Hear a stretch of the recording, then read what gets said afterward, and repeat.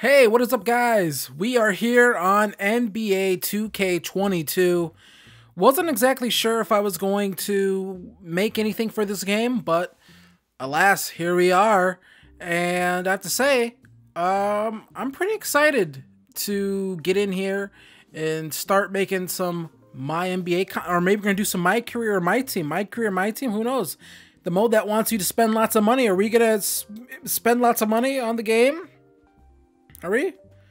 Well, no, not because I already bought the game for sixty nine ninety nine, which you know I really hate this price increase that we we've gotten on next gen. Uh, it doesn't really make any sense. I'm buying it digital, so my initial plan was to do a traditional expansion franchise. You know, I like doing the expansion and drafting and stuff like that. I was gonna do that. Um, despite the fact it seems like you still lose a lot of presentation elements in the actual game if you do an expansion. For whatever reason, you don't get like all the like normal like introduction graphics and stuff. But um, I was gonna do that, and then all of a sudden, when I was trying to bring the team into the game, it like hard locked my console and I was like sort of freaked out because like it wasn't starting back up. So uh, it, it did eventually. You see this no signal thing. Uh, I was like, oh, this is not good. Console did start up. PS5 is good to go. So I'm gonna have to pivot here. I'm gonna have to pivot, and we are gonna have to do a relocation instead. Which, you know what, is actually fine. I actually um, like relocation a little bit more. So we're going to go with relocation instead of expansion. Maybe we'll look at expansion down the line. Maybe if they fix whatever that issue was. I don't know. I'm not, I don't want to mess around with it. I'm not trying to break a PS5. They're expensive. I don't know if you've heard this, but they cost money, a lot of money. And uh, there's not a lot of money right now for people. So uh, if you can respect that decision. Turning off the G League. I don't want to deal with the G League. I don't want to deal with the G League. So who is getting relocated? Well, it's going to be a surprise. Not, well, it's not going to be a surprise. It's going to be a bit of a shock to you. It's going to be the Portland Trailblazers. That's right. We are relocating the Portland Trailblazers from Portland. Why? Because, I, I don't know, Portland's a mess. Maybe it's, it's disgusting. But we're not gonna we're gonna stay within the Pacific Northwest, but we're gonna be crossing the border over into Canada, Vancouver.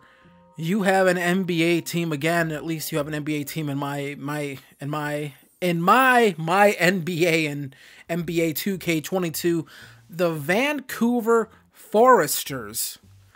I think that's for chopping down trees, right? The forestry industry. It must be big up in Vancouver, I'm assuming. So we have this is a really cool logo, honestly. Shout out to whoever made this. Uh, just awesome. Christmas colors. So there we go. The Vancouver Foresters.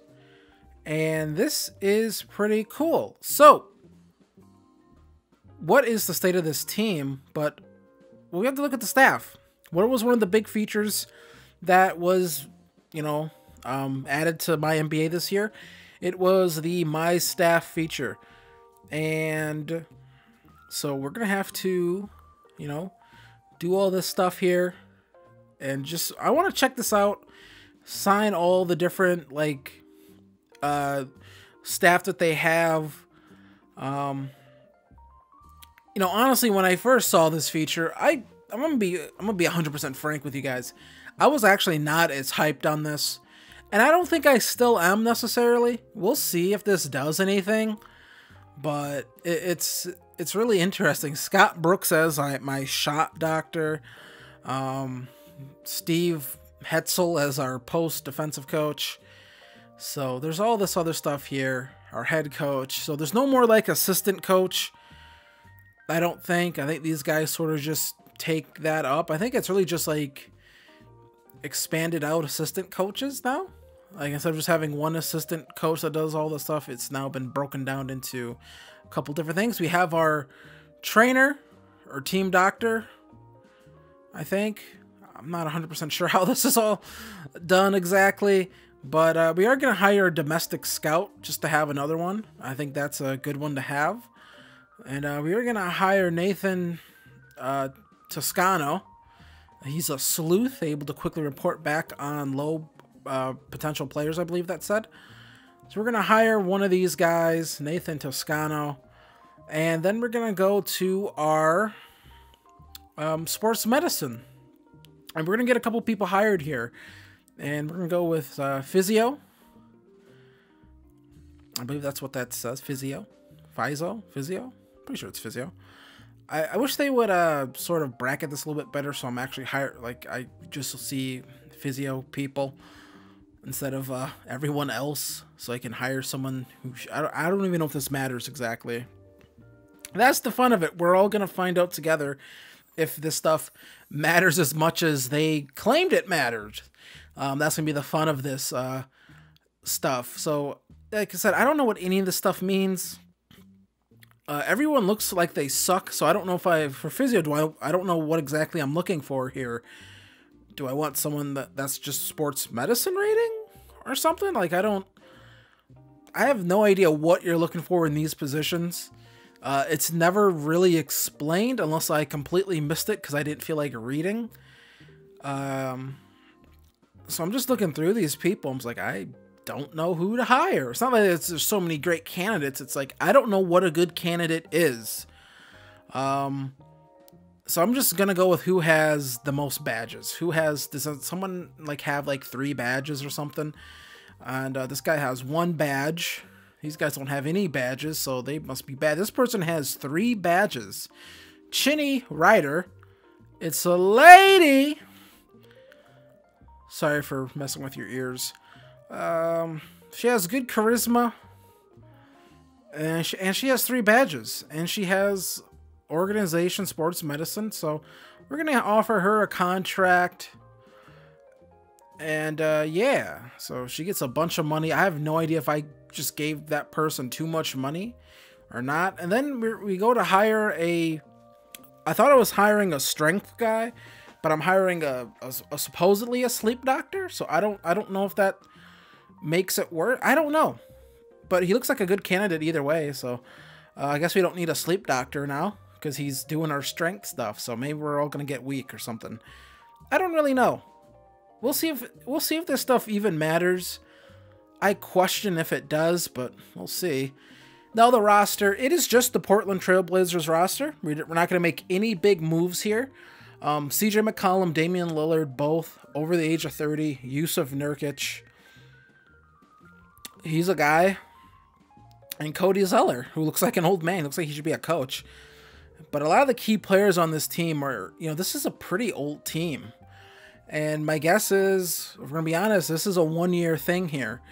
Um, this is going to be a team that's probably going to make a run for it, going to make a run for a championship. And if it doesn't work out, it's probably going to get blown up. So I think that'll be kind of interesting. It's a sort of a win now thing, and then it's also a potential teardown and rebuild thing. Um, Damian Lillard, three years left on the deal, takes him probably to his age 34 season, if I'm correct. So we're going to open up the season against the Sacramento Kings, or as The Rock would call them, and Shaquille O'Neal, the Sacramento Queens. I'm sorry to any Kings fans out there. But we're going to look at the free agents real quick, simply because I want to see something. And yes, turning off the G League, we don't get King of the Fourth Quarter legend Trent Franklin. Um, so he's not here because there's no G League, technically. So we don't have to deal with any of, of those guys. Even though none of them get signed, I did start up like a mock My League thing, and those guys just... It makes it impossible to look through the My League thing. I remember, if you guys remember in our Charlotte Hornet series, we signed one of the G League guys, I and he was like a really good shooter. So he was like a key part of our team. So but this year, they just went overboard with them. They're all beasts and stuff. So we're going to start the season taking on De'Aaron Fox and the Sacramento Kings. It's sort of interesting. The Kings are sort of like looking at a mirror future version of themselves with how their roster is constructed with De'Aaron Fox and Tyrese Halliburton. Sort of mirroring Damian Lillard and CJ McCollum and still sort of looking for that third piece that will be that third guy. You assume it'll be Marvin Bagley, but we'll see. He's only a 78 overall, while other players in his draft class have done a lot. Well, he's really done nothing. But we'll see how he plays in this game. First episode is going to be in the books here. So I want to thank you guys for watching this. Be sure to hit like, be sure to hit subscribe. More NBA 2K22 content on the way. And I will see you guys in the next one. Peace.